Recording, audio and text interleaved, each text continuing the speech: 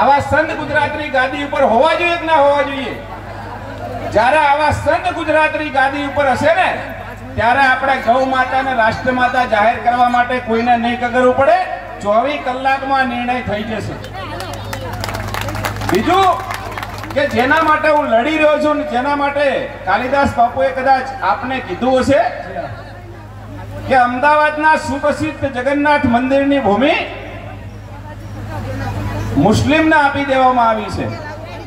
આજે આપણે રામનવમીના દિવસે યાદ કરવું પડે કે ભગવાન શ્રી રામની જન્મભૂમિને પાછી મેળવવા માટે આપણે પાંચસો વર્ષ લડ્યા છીએ.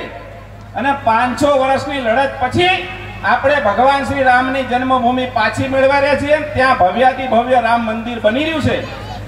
ત્યારે એ જ દેશમાં એ જ ગુજરાતમાં અને અમદાવાદમાં જગન્નાથ મંદિરની જમીન જેની બજાર કિંમત બસો કરોડ રૂપિયા છે. આ જમીન ફક્ત પોણા આઠ કરોડમાં એક મુસ્લિમને આપી દેવામાં આવી છે. અને આ જમીન પાછી આવે એ માટે હું લડી રહ્યો છું. અને એમાં આવા અનેક સાધુ સંતો અને હિન્દુ વરવીરો, વીરોના અને હિન્દુ સંગઠનોના મને સાથ ને સહકાર મળ્યા છે. મિત્રો, આ તબક્કે કહું કે મને કેટલીય ધમકીઓ મળી છે કે અતુલભાઈ આમાંથી ખસી જાઓ, નહીતર મજા નહીં આવે. મેં કીધું, ભાઈ, મજા તો લાવી નથી, પણ જમીન પાછી લાવી છે. હું આજે આ મંચ ઉપરથી કહું છું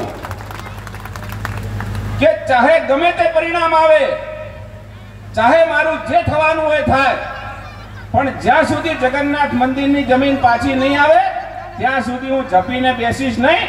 પછી આ સરકારને કે સત્તાધીશોને મારું જે કરવું એ કરે, બાકી નહીં અટીએ પાછા.